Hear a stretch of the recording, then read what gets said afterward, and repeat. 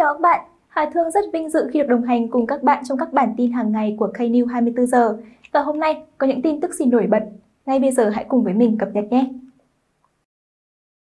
aespa bị mỉa mai chưa từng hát live kể từ khi debut.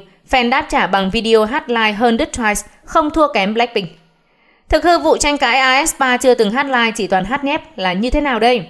aespa là một trong những nhóm nhạc ẵm nhiều giải thưởng ấn tượng tại Mama 2021 như là Best New Female Artist, Best Dance Performance Female Group. Tuy nhiên, sau lần tham dự lễ trao giải lớn này, các cô gái nhà SM bỗng vướng vào một loạt tranh cãi trên mạng xã hội. Hết bị chê sân khấu nhạt nhẽo như show âm nhạc cuối tuần, rồi đến màn khoe vũ đạo thành trò cười của Karina. Cư dân mạng còn chỉ trích aespa vì hát nhép lộ liễu tại Mama và các show quảng cáo ở Mỹ như The Nick Cannon Show, The Kelly Clarkson. Thậm chí netizen còn tuyên bố chắc nịch. Kể từ khi debut đến nay, aespa chưa bao giờ hát live mà chỉ toàn hát nhép, hát đè lên nhạc sẵn có lời hoặc là sân khấu pre-record. Rất nhiều bình luận trên mạng xã hội khẳng định SM luôn luôn để aespa lip sync mà chưa từng một lần khoe giọng hát chân thực. Nhiều người mỉa mai fan aespa thường tâng bốc vocal của idol, nhưng thực tế thì nhóm lại là thánh lip sync. Sự thật là như thế nào? Theo người hâm mộ thì aespa đã từng hát live và kỹ năng thanh nhạc của các cô gái cực kỳ xịn sò.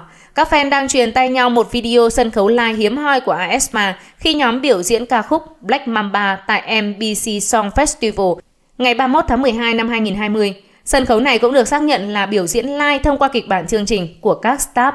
Người hâm mộ khẳng định kỹ năng hát live của aespa là không thể phủ nhận. Nhóm cũng từng gây ấn tượng bởi video encore như nuốt đĩa tại một số sân khấu Javet hồi tháng 10. Chính vì vậy, những chỉ trích vì khả năng hát hò của aespa là điều nực cười. Việc aespa thường lip sync mà không hát live 100% được cho là lỗi của SM vì không để các cô gái khoe tài năng. Một số bình luận aespa hát live cực tốt mà, nếu so với một nhóm tân binh thì nhóm hát quá tốt luôn. Chỉ vì mấy người không nhận ra aespa hát live không có nghĩa là nhóm luôn luôn hát nhép nhé. Ước gì SM để nhóm hát live nhiều hơn, kỹ năng hát live của aespa chắc chắn tốt hơn Twice và còn tốt hơn cả Blackpink nữa. SM phải nhận ra rằng aespa cần thể hiện điều này để thu hút nhiều người hâm mộ hơn trong tương lai và cũng để tránh một số tranh cãi về tài năng của họ. Fan biết rõ khả năng của aespa nhưng những non-fan có thể nghi ngờ.